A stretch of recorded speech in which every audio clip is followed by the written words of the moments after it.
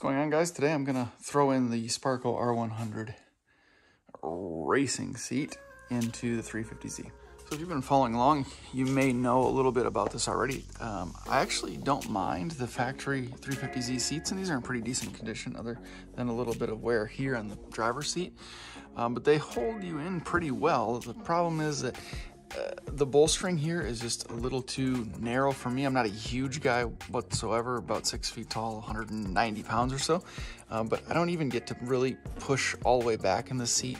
Um, I'm just I guess, a little wide for this seat. So, uh, but that's not really the main issue. The main issue is, that the seat bracket itself, I don't know if it's missing hardware or something's wrong with it, um, but it it moves just on the left side. So uh, if you brake hard or something, this left side of the seat kind of slides forward.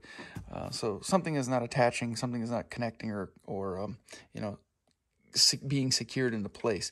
Uh, so I wanted to switch this out anyway, I'm not sure what seats I'm going to go with on this car, but I already have the Sparco R100, and I got some cheap seat brackets just for the time being um, to, to get the thing installed, and then I'm going to get some planted seat brackets once. Actually, I don't even know if it'll be planted because I got to decide if I'm going to get some reclinal, uh, reclinable seats for this car, or if we're just going to go fixed back bucket seats for this thing uh, with a harness bar and five-point harnesses, the whole nine yards. We're going to do it. We're going that far with this thing but I'm not sure exactly what I want to do yet. But I know that I got to get this seat out both for stability reasons, but also just for comfort. So we're to do it. So we got some hardware here. I'm not sure what these are. Maybe 14s 12 or 14, something like that.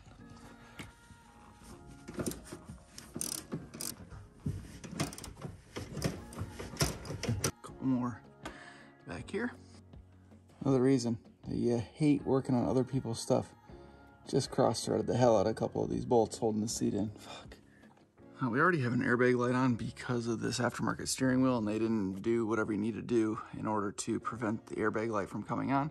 No airbag in the steering wheel, so that's no big deal, but we do have the, the side airbags, so there's going to be a yellow connector underneath the seat, I'm almost positive. And we're gonna put a two ohm or 2.2 ohm uh, resistor in it I don't know if that airbag, because that airbag doesn't work, that this one's not gonna work. I, am not sure. Uh, we already have the light on, so we're not even gonna know the difference, but what I would suggest, uh, if you don't, if you're not dealing with the steering wheel issue, uh, uh unplug the negative terminal on your battery, wait a while, press the brake a bunch of times, uh, make sure all the juice is out of the system. Then you can uh, get underneath this seat, or we'll lean it back here and you'll see in a second, that airbag connector. Um, you disconnect that, you put a uh, resistor in there. You can check out my video on my Q50 as well. We did that too. Uh, then you can plug your battery back in later on and it should prevent your airbag light coming on due to the airbag not being there. You have to unplug your battery because if it detects that the connection is not made for your airbag, the light's going to come on. The dealership's got to clear it. Uh, it. It's a nightmare.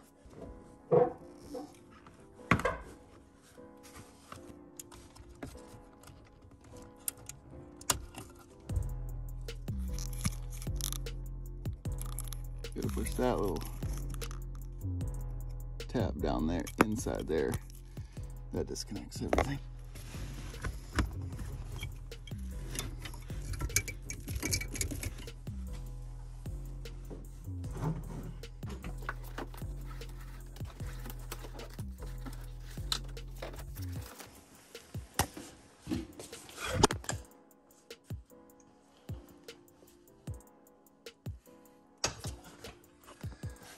Usually yellow is airbag.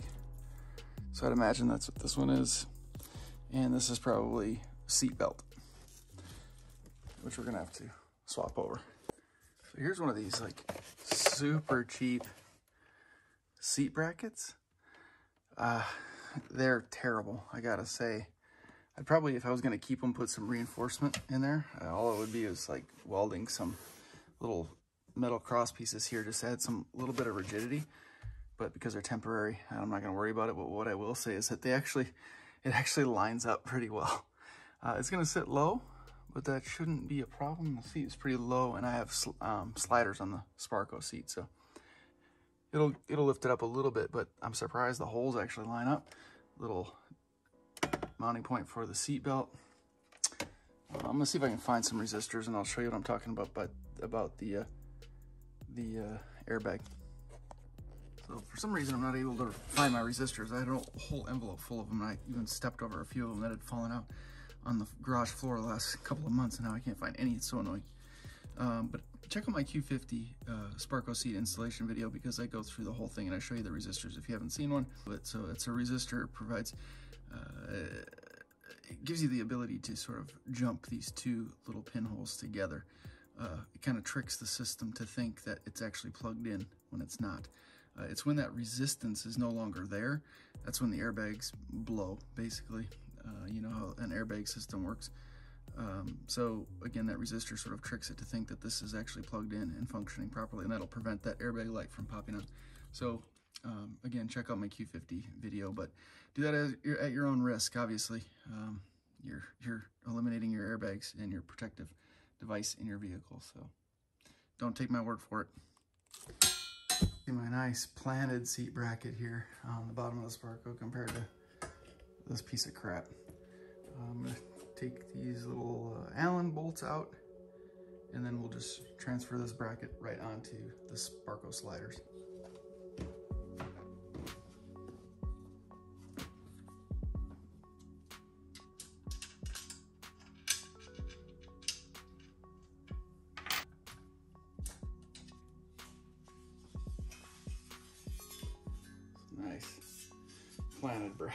Served me well.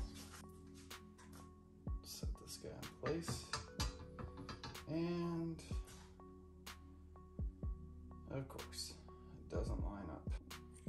Conveniently, the seat belt is held on with just a, a 14 millimeter bolt as well. All right, went and grabbed some hardware this morning, drilled a couple little holes, and we got the seat bracket bolted on. So we're ready to go.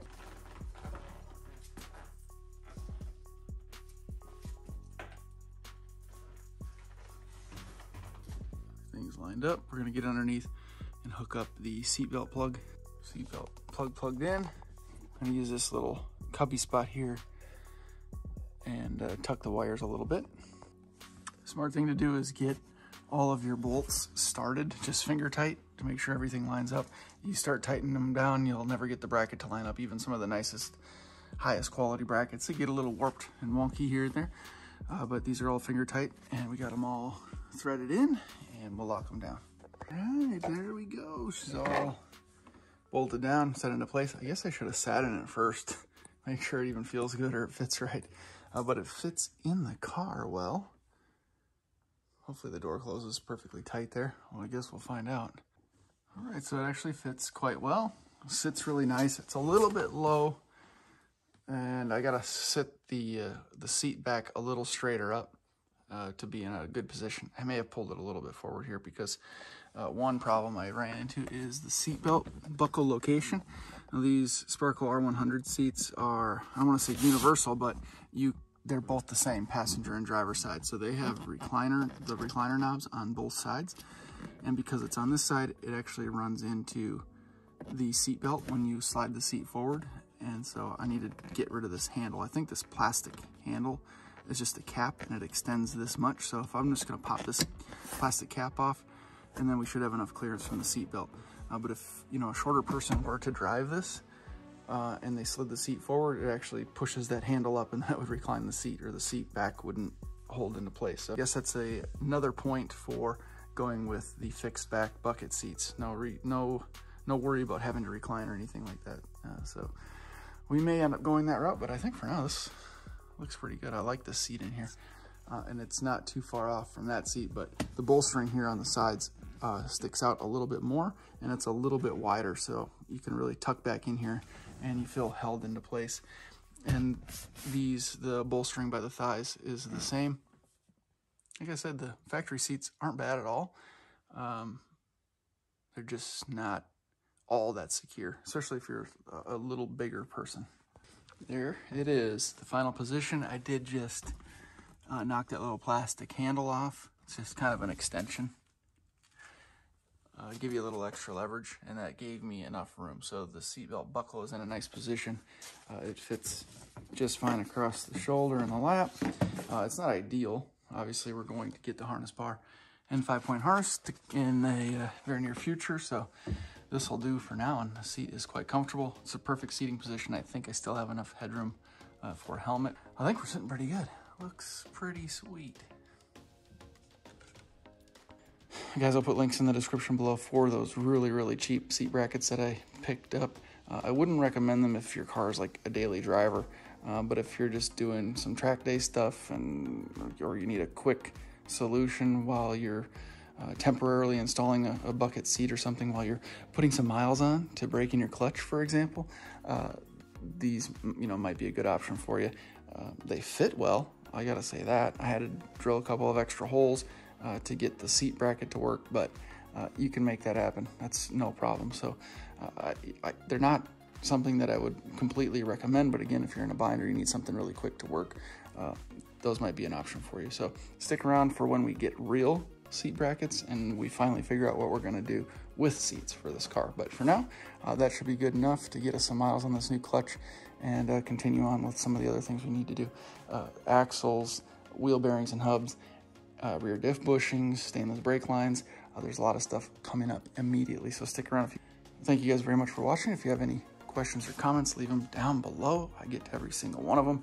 Uh, again, if you have any further installation of uh, racing seat installation questions, check out my Q50 racing seat installation video. Uh, that's a little bit more in depth with the resistor and everything like that that I talked about. Again, thanks for watching. I appreciate the continued support very, very much. We'll see you in the next one.